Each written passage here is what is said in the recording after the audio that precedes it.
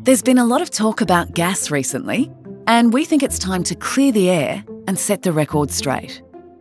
Australia needs to make a resilient recovery from the COVID crisis, and the best way to do that is through clean industries and renewable technologies, not gas. Australia doesn't need any new gas. It's dangerous, polluting, and unnecessary.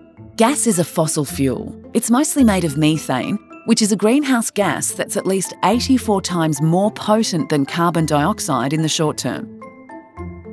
Not only does burning gas release greenhouse gas emissions, but producing and extracting it also releases emissions, and these are all driving climate change. When you add up all of the emissions involved in extracting, processing, transporting, and finally burning gas, it can be just as harmful as coal, or even worse. Australians are already feeling the effects of climate change catastrophic fires, record drought, and mass bleaching of the Great Barrier Reef.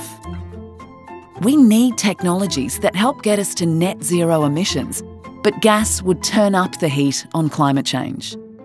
Gas is also the reason electricity prices have been so high for most Australians.